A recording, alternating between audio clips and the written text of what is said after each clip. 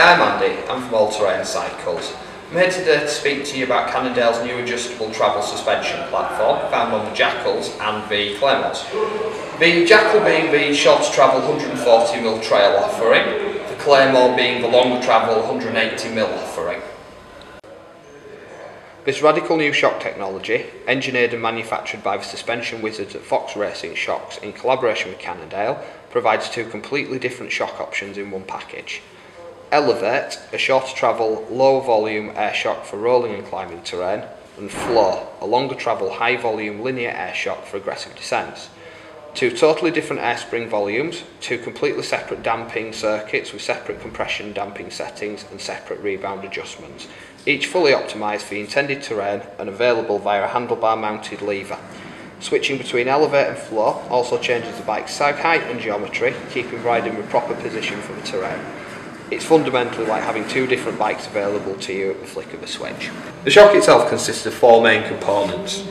You have your damping piston at the top, a shared negative air chamber, a long travel positive air chamber, and round the back the short travel positive air chamber. The damping piston itself doesn't work like a conventional shock which compresses.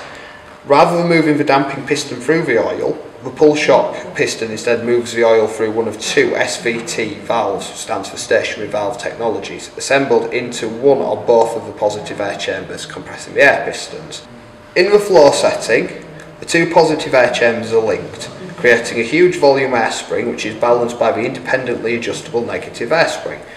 The combination of the large volume positive air spring, the larger volume independently adjustable negative air spring, and the high operating shock pressure creates a linear spring rate that is virtually identical to that of a coil spring.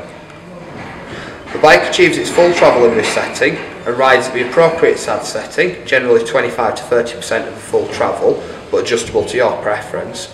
At this sag setting, the BB height is lower and the head angle is slacker for maximum high speed control. On this side of the bike is the short travel setting, which is called Elevate.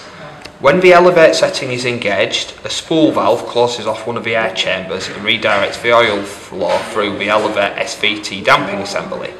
This creates a smaller total air spring volume, cutting the available travel by 40% and reducing the sag, resulting in a firmer feel, a higher BB and a steeper head angle, perfect for efficient climbing and fast technical riding.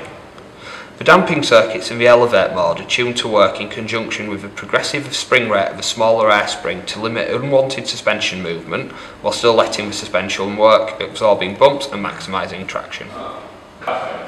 It's all good and well having an adjustable travel rear end on a bike, but if you don't have an adjustable travel front end, it's not going to work as it was first designed to. The Cannondale Jekylls and the Claymores come with Fox TALAS forks as standard on the higher models, which are adjustable between a short travel and a long travel setting. The fox shown on the front of this jackal are a pair of 32 fox taluses. On the right hand side you have two adjustments, you have your air spring and you've got your talus adjuster. The talus adjuster is currently set in the short travel mode so if you were to turn it it will pop up into the longer travel setting, bring it back to 140 millimeters. On the left hand side you have a lockout adjuster and your rebound dial. So you can set your fork up for either climbing, descending, rough or smooth terrain. On the 180mm versions found on the Claymores, you'll have the same system on the right hand side, so you'll have your air spring and your TALAS adjuster, but on the right left hand side, you'll have a compression dial set up, one high speed, one low speed, as longer travel forks are designed for bigger hits and more free ride orientated uh, riding. So hopefully that's explained how the new adjustable travel suspension system from Cannondale works. If you have got any questions, you can always give us a call on 01274 588 488 in the shop, or you can go to Cannondale's website for more detailed information. So it's all good and well talking about it, let's take it out and see how it rides.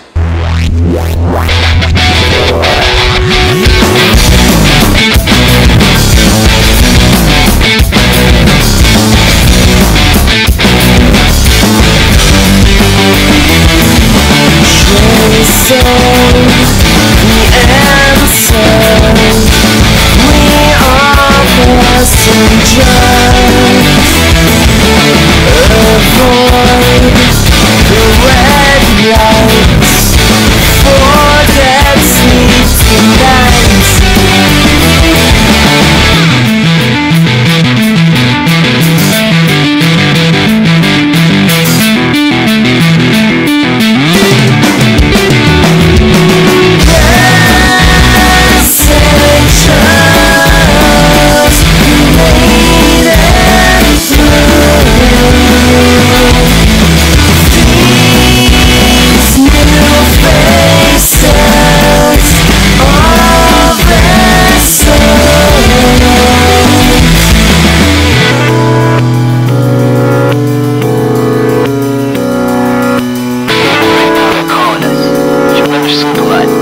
baby.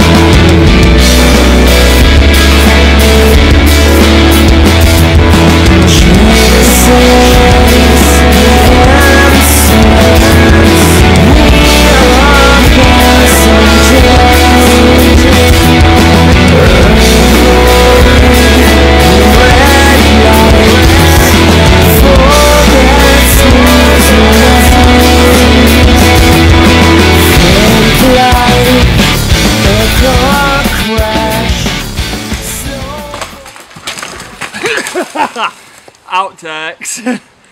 How do you feel about that? I felt like a